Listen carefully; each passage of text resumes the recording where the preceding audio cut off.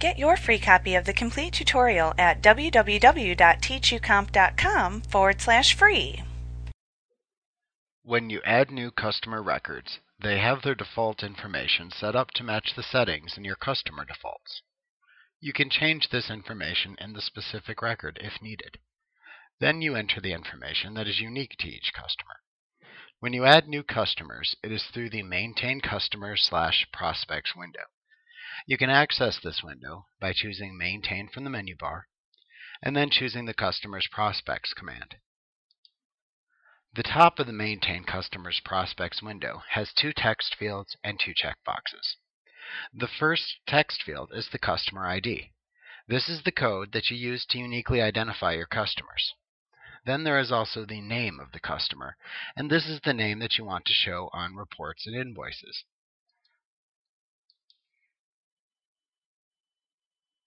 Now the two checkboxes are prospect and inactive. Prospect is the checkbox that you check if the customer is a prospective customer.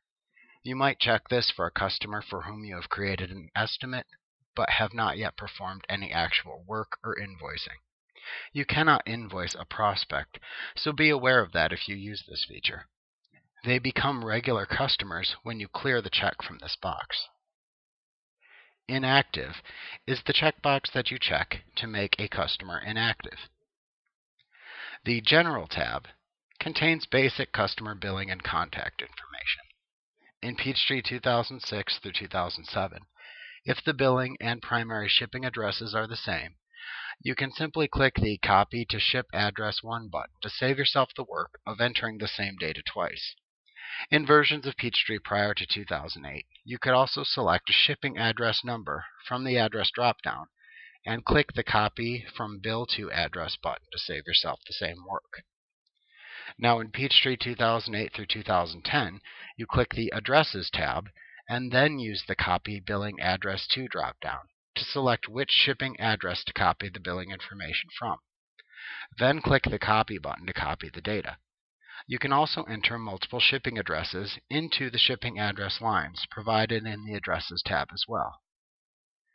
The Addresses tab is replaced by the Contacts tab in Peachtree 2011, which allows you to record this same type of information for multiple contacts at a single company.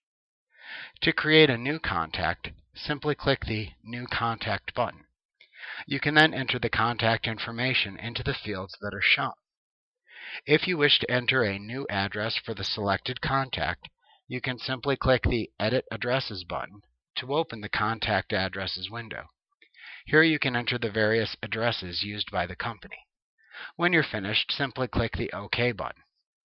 Then you can select an address for the current contact from the Addresses drop-down on the Contacts tab. When you have finished editing the contact's information, simply click the Save Contact button to save the contact's information.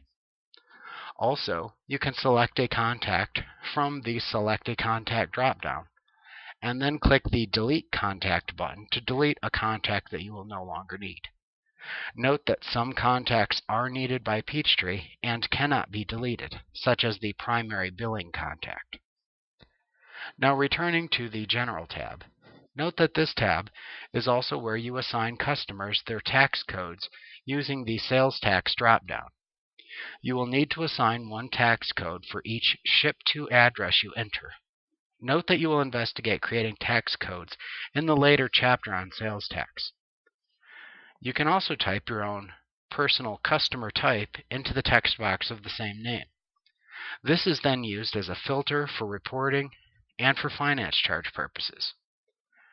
You can also enter contact information such as the phone number, email address, and fax number.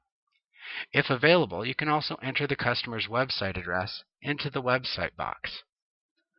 Now, if using Peachtree 2003 through 2007, you can also click the gray arrow for beginning balances to enter the outstanding invoices and amounts that they owed you as of the company file's start date. Starting in Peachtree 2008, you can perform this same task by simply clicking the History tab and then clicking the Customer Beginning Balances button. Back on the General tab, notice that once you have created a customer and have invoiced them for goods or services, you can view the current amount of their receivables balance. To see the list of invoices which make up the current balance, click the arrow button next to the current balance displayed if using Peachtree 2003 through 2007. If you're using Peachtree 2008 through 2011, just click the actual balance amount shown in this tab in order to retrieve the same information. On the Sales Info tab, or the Sales Defaults tab as it's called in Peachtree 2003 through 2007, you enter sales information for the customer record. This tab shows sales reps, shipping methods, pricing levels, and the general ledger sales account used by the customer. The sales rep field is the sales representative for that customer. The GL sales account is the default general ledger income account, which most transactions for this customer will fall under. This, of course, can also be set on a per transaction level if needed. The Open PO number field is used for customers that have an open purchase order with your company.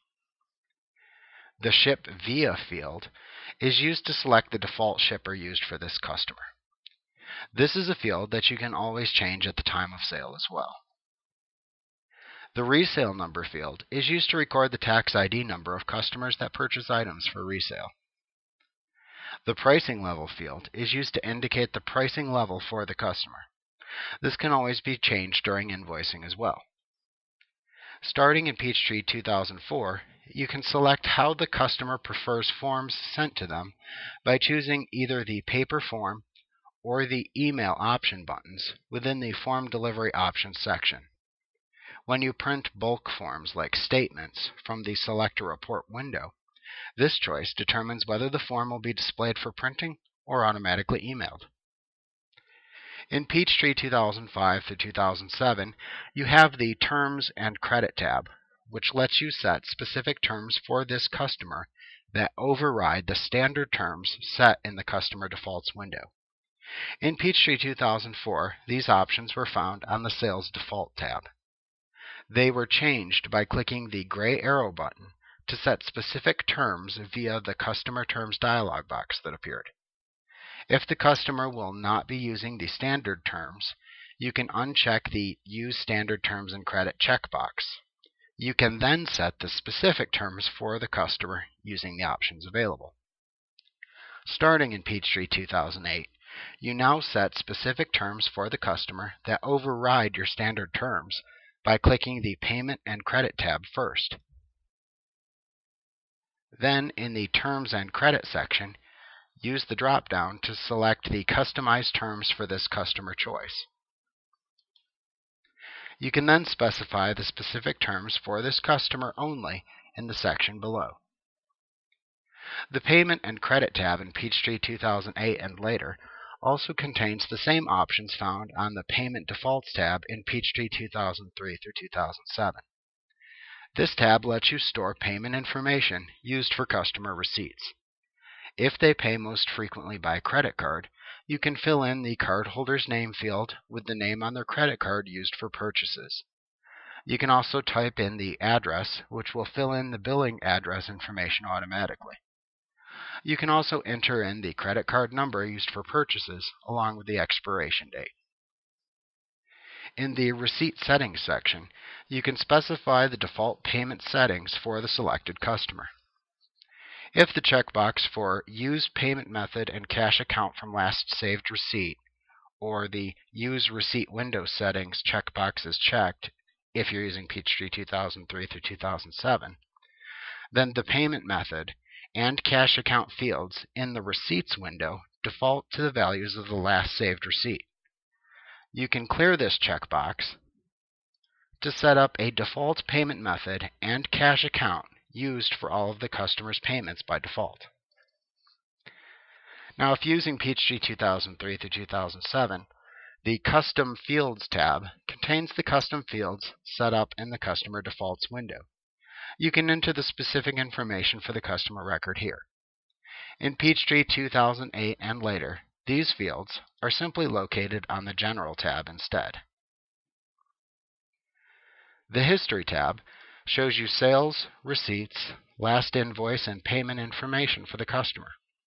This is updated every time you enter a transaction for a customer.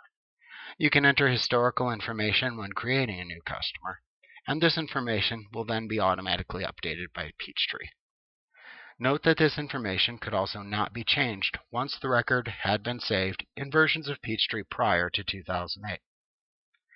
Now once you've entered your customer information, simply click the Save button at the top of the window to save it. If you're going to create another new customer, you simply click the New button and enter all of the relevant information.